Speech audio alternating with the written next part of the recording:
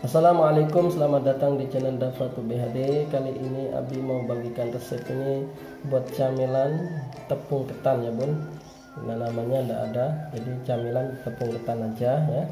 Dan ini juga paling disukai ibu-ibu dan anak-anak juga ya. Dan bahan-bahannya paling simple dan gampang sekali ya. Dan untuk bahannya kita siapkan ini tepung ketannya 200 gram dan airnya kita 100 ml terus ada margarin kita siapkan satu sendok. Ada kaldu bubuk ini separuh saja kita pakai. Dan ini saya siapkan juga bawang putih 2 siung ya udah dihalusin ya. Sekarang kita aduk ya bu. Dan kita air yang tadi 100 ml kita taruh di ini ya bu. Dan sekalian kita taruh kaldu bubuknya ini kaldu bubuknya ini ya. Kita ini ya bun. Kita masak dulu ya.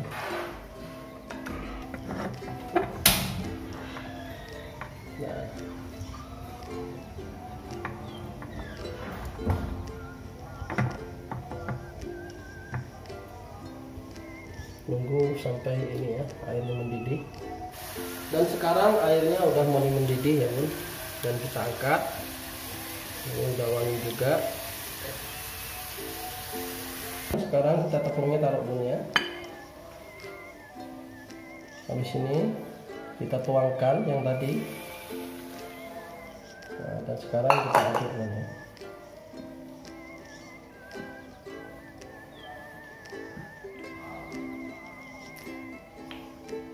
Dan sekarang kita taruh margarinnya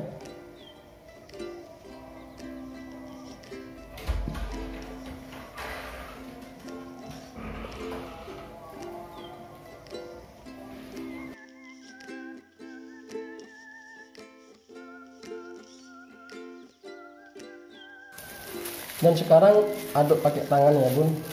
Mungkin lebih cepat ya kalau pakai itu agak lama ya. Nah biar cepat nyampur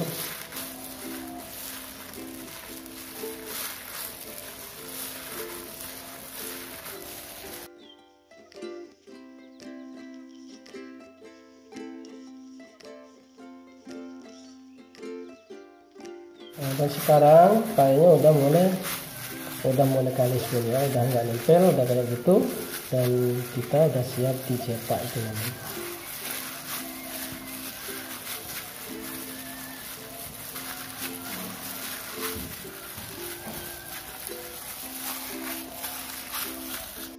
Dan sekarang kita mulai dicetak ya bun. Nah, ini gampang sekali bun ya. Jadi nggak lengket sama itunya sama alasnya yang di bawah. Ya tuh nah kayak gitu aja tuh.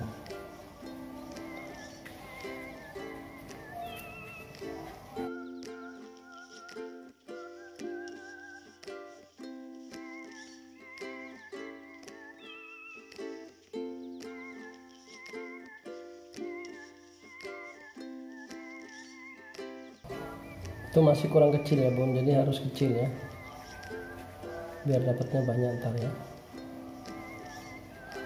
memang sengaja ini agak banyak ambilnya biar panjang ya. Dan sekarang siap udah dipotong ya. Nah potongnya kayak gitu aja ya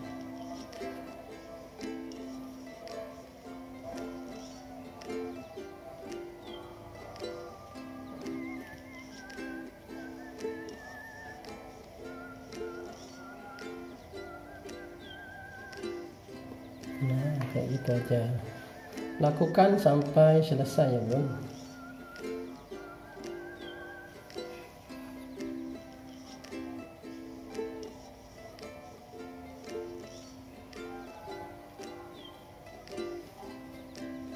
Dan ini udah siap ya bun. Dapatnya banyak sekali dan cantik-cantik tuh bun ya. Dan kita juga siapkan minyaknya. Udah disiapkan udah ditaruh itu dan sekarang kita taruh di kompor oke nah ini kan sangat unik bun ya. Kita minyaknya udah disiapin tapi minyaknya uh, minyak dingin ya bun. Dan ininya kita taruh ya.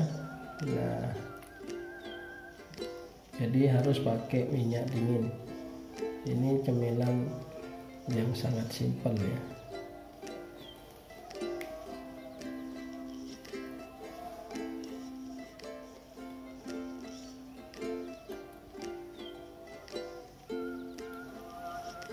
dan sekarang kita siap di ditaruh di atas kompor ya. Kita hidupin kompornya. Kenapa ditaruh di minyak dingin? Jadi biar nggak meledak meledak ini ya.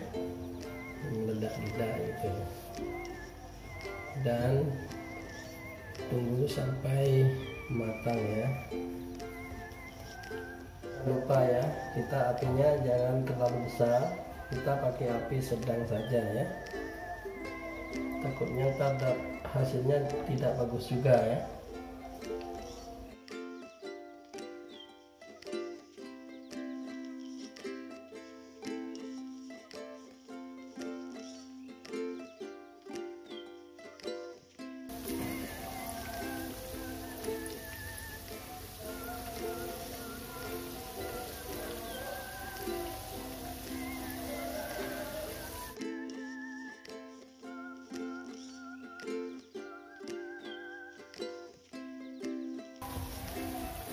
dan sekarang cemilannya udah siap diangkat ya bun udah matang tuh.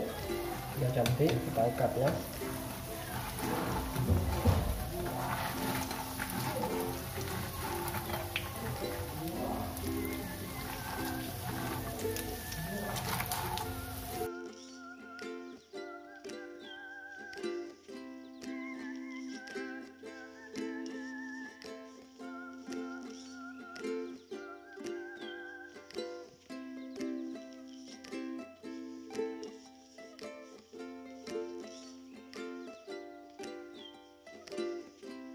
ini hasilnya seperti ini ya bun cantik sekali ya. Dan sekarang kita goreng lagi selanjutnya ya goreng lagi ya.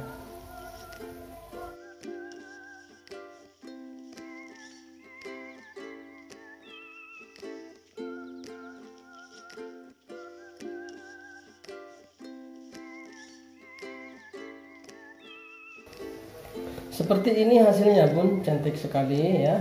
Ini sangat bagus sangat enak ya kalau buat cemilan anak-anak dan juga ibu tidak apa-apa juga bagus ya. Dan bunda kalau emang suka dengan video ini tolong di like di subscribe dan di komen ya bun. Terima kasih. Assalamualaikum warahmatullahi wabarakatuh